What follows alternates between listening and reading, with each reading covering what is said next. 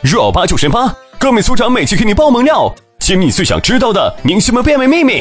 本期就来扒一扒女真第一大美女唐艺昕。唐艺昕新剧中的短发造型又被网友夸了，既可爱又养眼。然而万万没想到，转眼就从现代到了古代，还是女真第一大美女。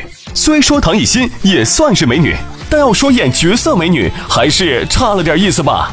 大红小花扮演过大美女的，要么是刘亦菲这样仙气飘飘的小龙女，要么是娜扎版美艳十足的貂蝉，亦或是大幂幂扮演的四海八荒颜值第一的白浅，还有三国著名美人甄宓。隔壁剧组的第一大美女，画风都是让人很惊艳的。虽然扮相不及八零年代角色美女王祖贤、林青霞那般大气，单说颜值还是让人信服的。然而唐艺昕扮演的第一美人，怎么看都不让人惊艳。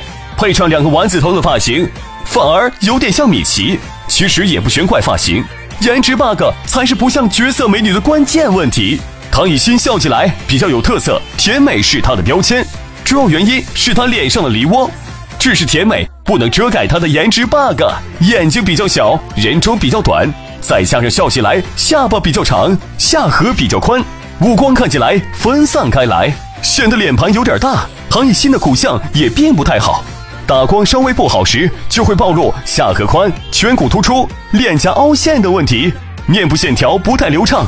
不过在正常光线下可以规避这些问题，因为不用 PS，她的脸部脂肪已经很饱满了，所以长相甜美的她更适合演一些小巧伶俐的角色，例如浪漫无邪的天灵儿，活泼可爱的侠女单盈盈，有些刁蛮任性的祺贵人也很相符。总体来说。唐艺昕还是很了解自己颜值定位的。想知道唐艺昕全脸调整了哪五处才变美的？关注公众号“更美”，你就知道了。下载“更美 ”APP，还送唐艺昕同款变美项目哦。